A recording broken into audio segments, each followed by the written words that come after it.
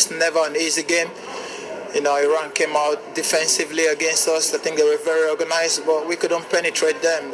So I'm disappointed about the result. This is one of the games that we look to win.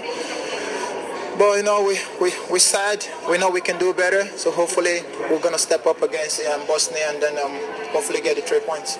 You know, this doesn't change anything really. You know, we knew we know that that Bosnia game was always going to be after game that we, we had to win. You know, we've had a lot a, a lot of the possession, uh, but you know that, that, you know to win games you've got to get shots on goal. You've got to get crosses into the box, and unfortunately we didn't do enough of that today. And I think you know that's what you know. We tr- it was they were always going to be difficult to break them down through through the middle. So we had to get the ball wide and get the ball in, and we didn't do enough of that.